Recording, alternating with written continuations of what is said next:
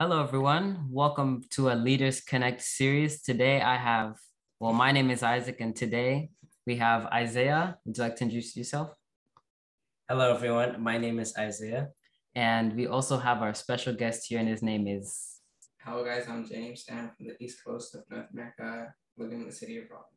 And we also like to welcome you to Washington, not only to our YouTube channel, but to Washington as well. So, oh, yeah, you're welcome. So, today we have seven points on what we did because it wasn't our vacation, but it was James' vacation here. And we had a few things that we did, and here it is. For so for our first thing, guys, let's have a conversation here. What, what, what was the first thing that we did when we first got here? Um, yeah, we went on a big cruise with friends, family, with um your mom's schoolmates from high school back Yeah. from 20 plus years ago. It's a long time. Yeah. Yeah. I don't even think I was born yet. No, No. probably not. Probably not. But for the dedication, I for my because actually it was no for the dead that was the dedication, not the cruise. Two different things, but it's okay. For the dedication for your sister, actually, because you guys, that's actually the whole reason why you guys are here. Yeah. And we're so glad to have you guys. And for the dedication, it was actually at our Shosho Guka's church. For those of you who are American watching, what is a Shosho? What is a Guka? uh not what a but who our Shoshonguk our grand our grandparents we just that's the name for it so for our grandparents they we went to our grandparents church and we dedicated our well his sister what was your favorite part about that Um, I guess probably the song that we sang, but we didn't know the lyrics. yeah. yeah i could definitely agree with that one yeah. what about you Zia? Um, so it was probably after there was a, a lot of good food, especially the chicken. Uh, yeah. Um, also getting to meet, well, getting to see our old friends that we haven't seen in a while. I mean, the last time we saw them was when we were visiting, th- visiting them here. Mm, yeah. I think my favorite part about the dedication was giving thanksgiving to God, you know, because if when the baby is first born, they're born into a world, you know, a whole new world. And I think the best part about it is giving the baby to God so that, you know, they have guidance in their life. You know what I'm saying? Yeah. So I think what was our second point, Isaiah? um, going to the cruise, uh, we went all the way to Idaho and we woke up very early for that. It Took 10 or more hours. 10 Yeah. or more, or was it more? And I think I was the alarm clock for everybody. Can I agree? Can I Uh-huh, get an yeah. amen? for the uh for the cruise i the best thing that we did actually in my opinion I would say the lesson was about coexisting because if we're gonna sit in a car for 10 hours together the best thing that we can do for ourselves is learn how to get along can i can i can i get an amen on that one yeah. because yeah anybody want to interrupt me because sitting in a car with these two guys you guys are amazing but after i think about 30 minutes to get to the get of yeah, yeah, yeah. but I think that was the highlight of it, getting to spend time with you guys. And also, as you mentioned, um, I won't do all the talking here because it's a conversation, you know? So Yeah. what would you guys like to add on that one? I mean, yeah, if you were being in a car for five hours with people that you get to know, it improves your relationship. It, so if you're in a car with people you don't know or you would like to know more, it would give you some time to expand on your relationship, get to know each other, coexist with each other, you know, make some new friends, and yeah, build a greater community. Yeah, pretty much inside of one car. Yeah. What about you, Zed? um, um, just saying that um, our mom is is doing had a, a cruise planned and she was she was with um old old friends um back back in her time of being in high school Yeah, now we know they actually went to school this time. Yeah. oh, y- yeah. um so what was one of yours Um, for the cruise, I thought um, to me, my lesson was, you know, when you work, you when you get caught up in raising a family or working, you don't get time to enjoy yourself, relax, hang out with friends, and um, which doesn't give you some time to connect. So during that cruise, we connected with each other really well. We expanded our relationship.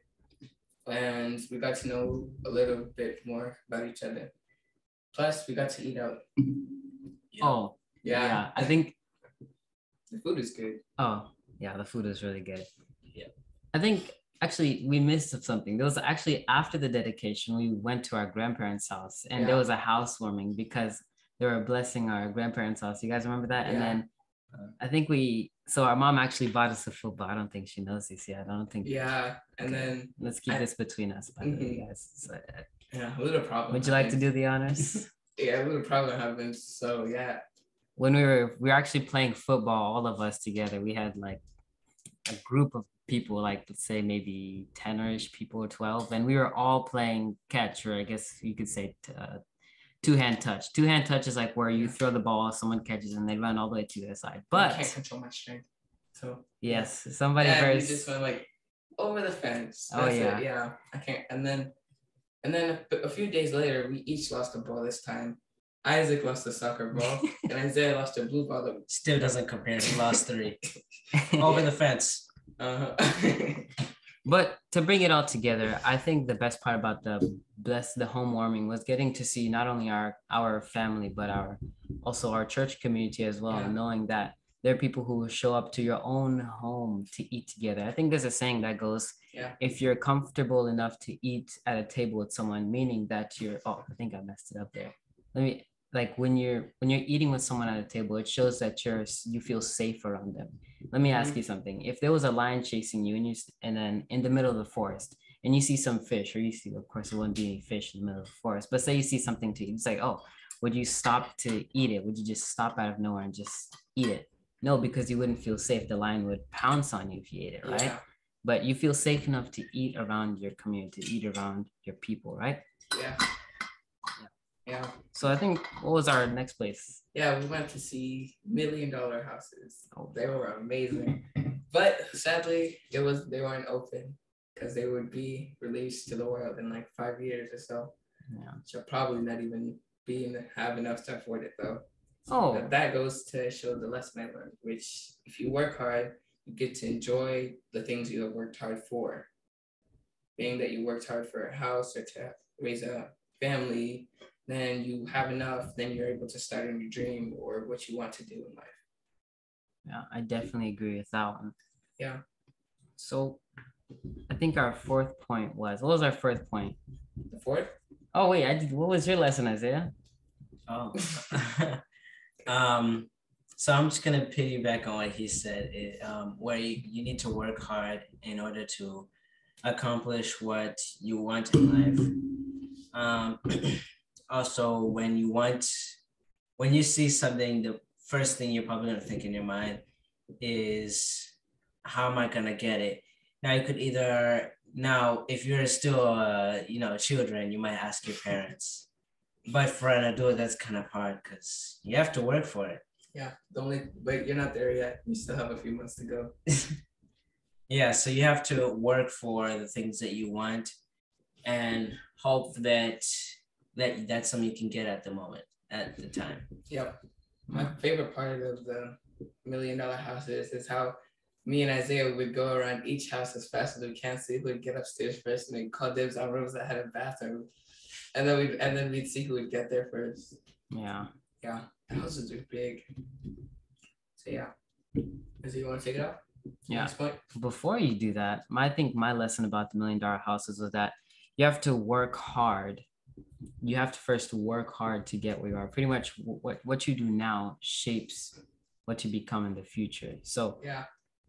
So we work hard and trust God that He'll provide for us because you also have to remember that we can work as hard as we can, as hard as I want, as we want. But we always also, if people are watching, is to remember that God is our initial provider and He's the final provider. Remember that God provides for us. Uh, we ourselves and our works, it's not alone. It's it's us alone to work. We can't do it ourselves, but it's God's grace who says, you know what?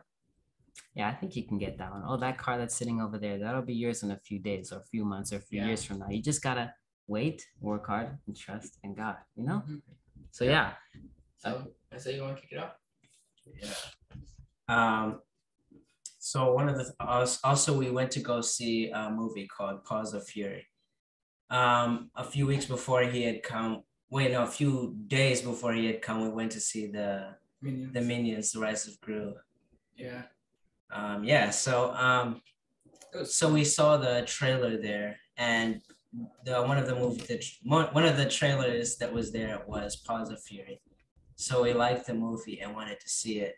So we planned on seeing it with our cousin James. Yeah. And my biggest takeaway from that movie was um was even even if you don't stand out or don't fit in with the group, there's always a path that you can take to get to the the end game. Yeah. Mm. My takeaway was that being that the main character was a dog and everybody else was a cat, he couldn't learn like he couldn't learn how to be a samurai like other cats do.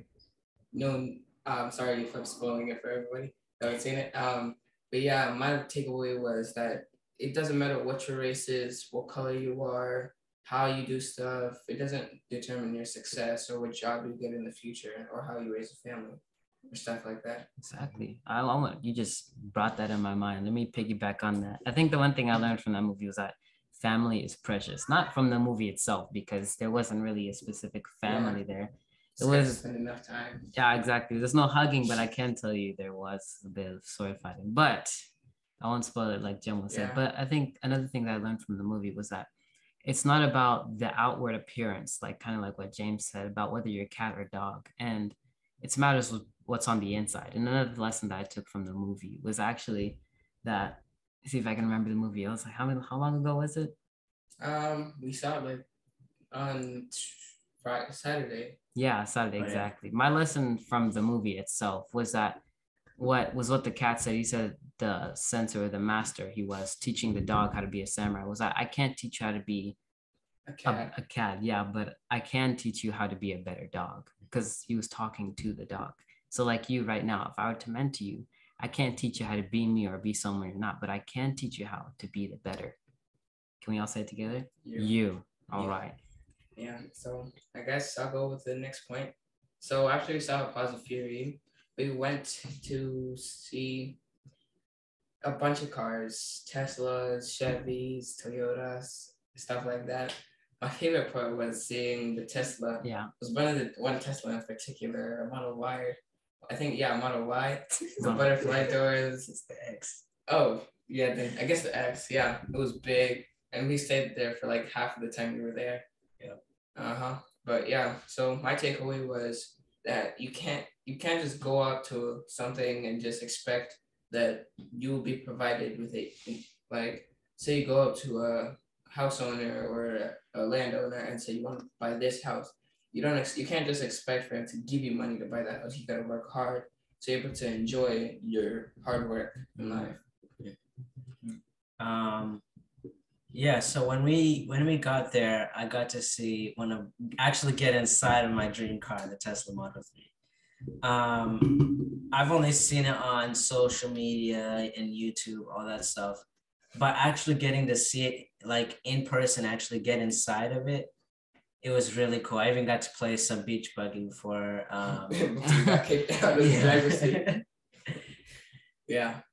I think my takeaway was that was because also speaking to the youth here, um, also also to us because we are youth, you know, we aren't at that level yet. I won't limit us. I won't limit us because we'll be there soon. Like they say, time flies. But it was to work hard in school, like work hard now in school, Mhm. and trust that God is your source. You know what I'm saying? Yeah. Yeah. Because Mhm. I guess yeah. And after that, we went to Evergreen Church, which I recommend I recommend you guys go to. It's a fun place to be on Wednesdays if you're youth or higher. And yeah, really, it was a pretty fun event. Um, yeah, we stayed there for about two hours with um, Pastor Elijah preaching and worshiping. It was a pretty fun church to go. It's a pretty fun church to go to in general. Mm. Yeah. But in that in that time I was in church, when Pastor Elijah was speaking, um, I learned that every day when we see something weird, we take that into our mind. It doesn't seem normal to us, like a flower growing in the middle of a road, or a cloud in a very sunny day or like a heat wave, but there's one splash of white ground. But for God, it's him doing miracles is like a normal thing. He does it every day, so it becomes normal to him. But to us, it's uh, it's in, it's incredible. It's like not something we can do, so we don't think of it as normal. Yeah. Wow. Um, one of my biggest takeaways from being at church on Sunday and getting to hear Pastor Elijah preach was when he said that um, when you are praying, you prophesy in Jesus' name because when you put his, when you prophesy in his name, Jesus, confidently, you are um, you are hoping for that to happen and actually yeah. trusting in in God that it's going to happen. Amen. Wow. Yeah, so I guess you want to finish off with your lesson. Yeah, what you learned for sure. My lesson was that you that there's authority in Jesus' name, and because of that, we can. And it's not because of our authority, you know. Yeah. We can we can even go out into the world when we you know when we build up our faith and our relationship in God. When we go into the world over time, like I'm not saying you go doing that now because first you have to have a relationship with God, but but remember that there's authority in Jesus' name, and when you have faith, you can even drive out demons. You can do all sorts yeah. of things. And kind of like what you said, uh-huh. when you say when you say yes to Jesus, you're signing up for weird. And yeah. I think everybody laughed after that. That yeah. was hilarious because the things that God does in the kingdom is normal to him and everybody in the kingdom. Uh-huh. Yeah, but since since we consider whatever we don't do norm not normal. Everything else, like how a lion eats or how a bird builds a nest, we consider it weird because it's not a normal thing for every. It's not an everyday thing for us. So like stuff like cooking, taking showers, normal for us, but for any other person or like any other religious people or species may think of it as weird. Yeah. Yep. I knew you were related. You can read my mind. Yeah.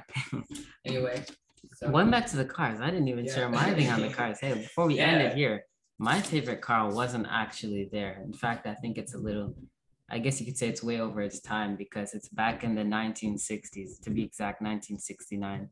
Dodge, Dodge, right? No, no Pontiac GTO. No, wrong one. 1969 Dodge Supercharged. Yeah. Eh, eh, it, well, that, that's a story for another day. But my lesson about that was that you can have anything you want if you work hard for it. You can have anything you like if you work hard for it. You just gotta strive and do it.